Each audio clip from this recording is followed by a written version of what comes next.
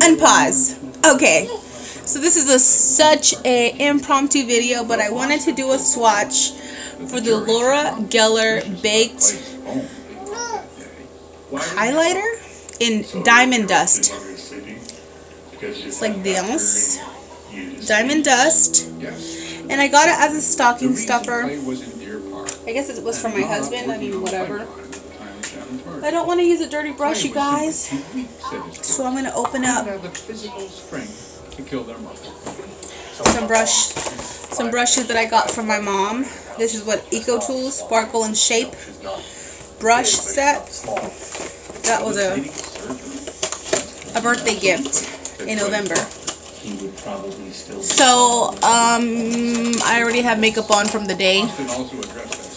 I just wanted to swatch this uh, highlighter. It looks awesome. And I guess I'll use this little fan brush. I'll use this little baby fan brush. You can see how small it is. It's my hand. It's like a little baby fan brush.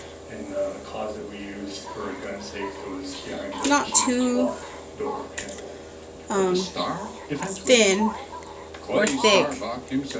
It's, Mr. Starbuck, you can see.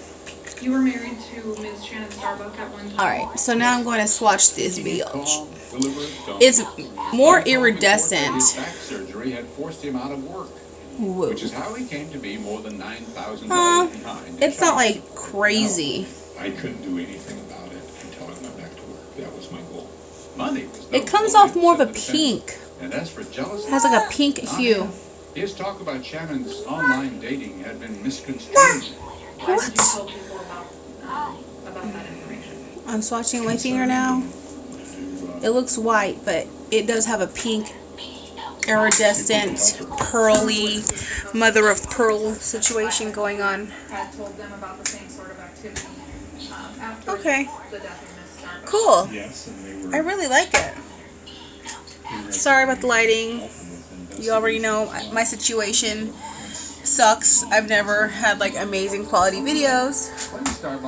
But I just wanted to swatch this on the camera since it was brand new. Alright, so that's it. I got Elijah in his crib. I just got done the the devil I just got done watching The Devil Wears Prada.